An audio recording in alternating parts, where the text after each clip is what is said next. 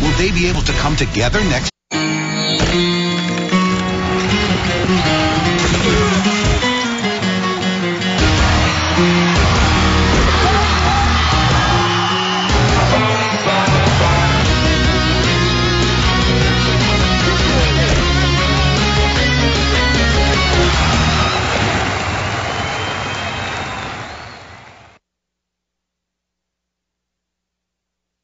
And good evening. We are glad you can join us for this special playoff edition of Extra Point. I'm Jerry O'Lennon. And I'm Bonnie Valina. We'll start off with the Division One of the Northern section. And let's go ahead and we're going to talk about Red Bluff. They fell to Foothill last week in the last regular season game, but this is the first game of the playoffs where you leave nothing out. Let's see just who brought their best game.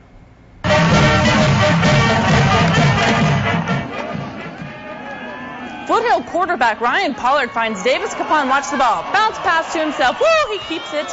And uh, that's for the first down. Cougars Polly goes again. Nice and easy. Deep to Capon for the touchdown. Foothill is up 21 0 on that one. Red Bluff is driving. Garrett Sandow is the quarterback. He's going to find his receiver for the first down. He'll go out about, about the 30 30 yard line. And Sandow again to Mitch Fox helping to bridge that Spartan gap. 21-7 Foothill after that one. Cougars again, and it's Pollard again finding Capon with the shifty moves. And he's down at about the five-yard line after this play. And Pollard goes for one of his four touchdown passes tonight, and this time is to Grant Smith, putting Foothill 40 to 7 over Red Bluff. It's another impressive night for Davis Capon. He had three touchdowns on the night. Foothill wins 48 to 13. They'll play second seeded Paradise, which had a bye in the Division One semifinals. Shasta and Chico in tonight's other Division One game. Shasta and Chico. Sounds familiar. Sure, a week ago, Chico walloped Shasta by 36 points in the regular season finale. How about tonight, when the game mattered even more? One, two, three. That's Chico there in the red. We go to Asgard Yard, where Chico was looking for a repeat performance of last week's dominating win over the Wolves. Picking it up in the second, Wolves on the move, trailing 21-14, and an Alexander Parents pass is picked off by Andrew Morgan Hernandez. He comes up with a big return to set up the Panthers with a great field position. Then Daniel Robbins airs it out to Barack Current Kelly, making the great catch in the end zone, and Chico takes a 28-14 lead. Third quarter, Shasta trying to answer. Jake Calloway breaks off the big one, breaking tackles along the way, taking it 38 yards. The drive was capped off by Avery Holly. He goes 30, powering his way through defenders all the way to the end zone to make it a closer game now, 28-22. Chico still leading, but Chico had Travon Reed, who finds a hole and slips through the defense for the 10-yard touchdown run. Chico wins a barn burner, 57-42. They will play at number one seeded Enterprise next week in the Division One semis. And we have only just begun. We move forward with Division Two highlights from both the valleys as Central and West both play home playoff games. More highlights are coming up. You. It is the first round of Division Two. Live Oak, just north of Yuba City, is the number seven seed, and Central Valley is at the number two spot. Let's take a look at these highlights.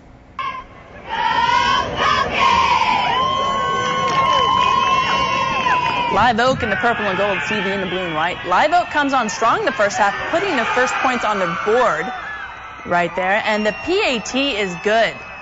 They will be up seven points. And then CV's defense is really going to keep them in the game.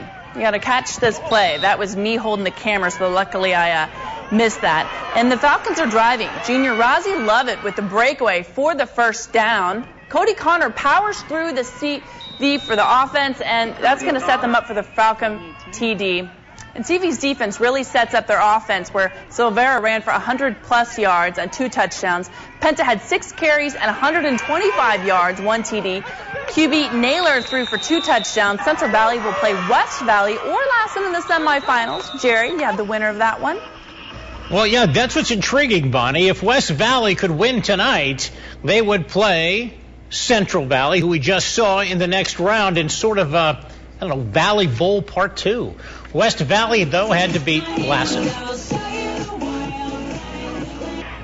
West Valley in the black. Look at the rough and tough defense as they corral the Lassen runner and take him down hard. Lassen only the sixth seed, aiming for an upset, and uh, a nice aim here, a touchdown pass to Frank Shepard. This was a tight game all the way. West Valley's offense in good hands with sophomore Brady Kincaid, who brushes off a tackle or two and reaches the 10-yard line a few ticks later. Kincaid finishes it off. Check out the score, 21-20. West Valley staves off the upset and will meet Central Valley next Friday in the Division II semis. West Valley hangs on and wins 21-20. Now the other half of the Division II bracket, top seeded Sutter tops Yreka 49-7. They'll go to the semis and play Orland a 33 0 shutout winner over Wheatland. Some good stuff there. Division three highlights are next, and we're going to show you some extra pep in our extra points, so don't go away. In Division three, second-seeded Trinity hosts seventh-seeded Hamilton. The Braves looking to take control of this one from the very beginning. We'll go to Hamilton High.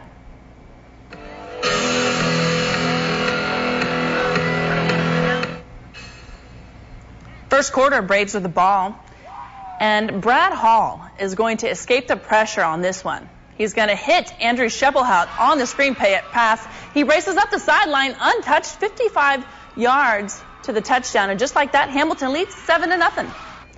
Trinity putting together a drive of their own. Corey Cook plowing through the defenders. He picks up 18 yards. And Wolves facing the fourth down. Ryan Higgins finds Nick Moreno in the back of the end zone. Moreno with the th- great catch, 8-7 Trinity. But the Braves are answering right back. Scheppelhout again. This time on the run, he would not be caught picking up 60 yards in all as Hamilton takes the lead back at 13 and 8. Next Brave possession. Who else? It's Scheppelhout again. One more time with this carry. This time he goes for 40 yards for another Braves touchdown. So Hamilton's win sets the stage for them to play Modoc, which beat Colusa 48 to 22. And the other half of the bracket, top-seeded Pierce beat Durham 37-22, and Willows beat East Nicolaus 41-14.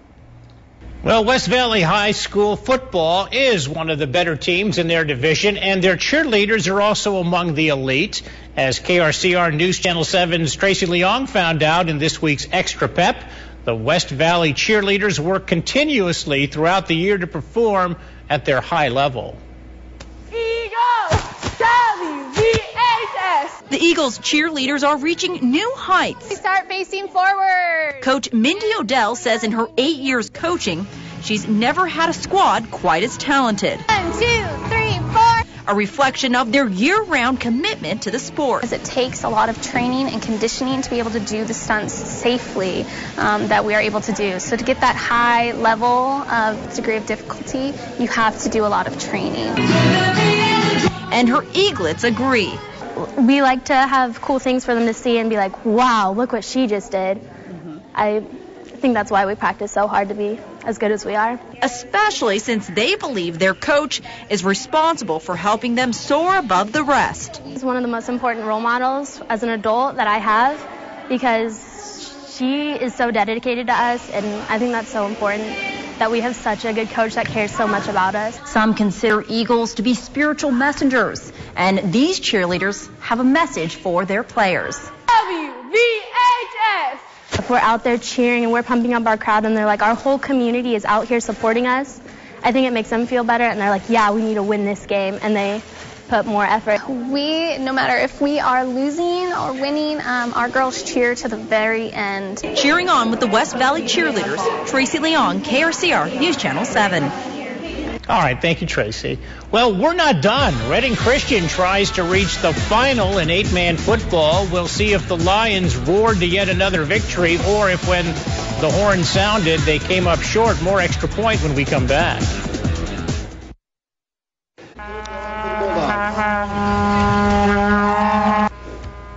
Division 6, that would be your eight-man football. Redding Christian in the semis against Butte Valley. BV and White setting up to punt high snap. Swarm, swarm. Redding Christian creates the two-point safety, and it was 9-0. Hayne Piper, he smells the end zone. Up the chute, Redding Christian was ahead 17-0 after one quarter. More to come in the second quarter. Piper steps back, gets rushed, flushed out, lofts a pass to number 18. That would be David Dinius, and it was 24-0.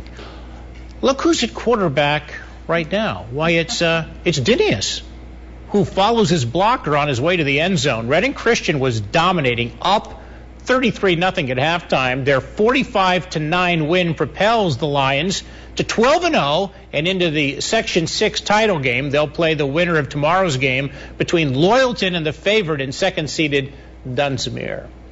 We have one more set of scores to show you. It's the Division Four playoffs. Here's how they turned out. Maxwell upended Burney and will play second-seeded Portola next week. And in the snow, Fall River hosted and topped Quincy, and they'll play top-seeded Chester next week. Regular seasons end tomorrow for the area's JC teams. Butte College is at San Francisco City College. A win puts them at nine and one and gives them a share of the NorCal Conference title. And Shasta competes their season tomorrow. They finish it against the College of the Redwood. Kickoff at Memorial Stadiums at 5 o'clock. At 4.30, there will be a special ceremony for Tyler Burton, the Shasta player who is in a medically induced coma after being punched nearly two weeks ago. And tomorrow, KRCR News Channel 7 will bring you these games at 9 in the morning. You'll see Louisville at Syracuse, and at 12:30 it's Penn State at Nebraska. News Channel 7 is at uh, 4:30, followed by Notre Dame and Boston College at 5 o'clock. That wraps up Extra Point for this Friday night. Thank you for watching. Thanks. We'll see you next week, and on behalf of everyone.